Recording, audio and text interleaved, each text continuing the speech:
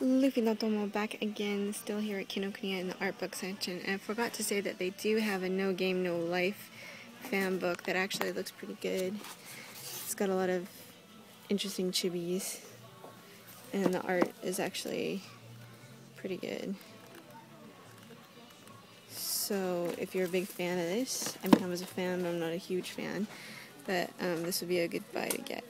Alright, thanks for watching this short.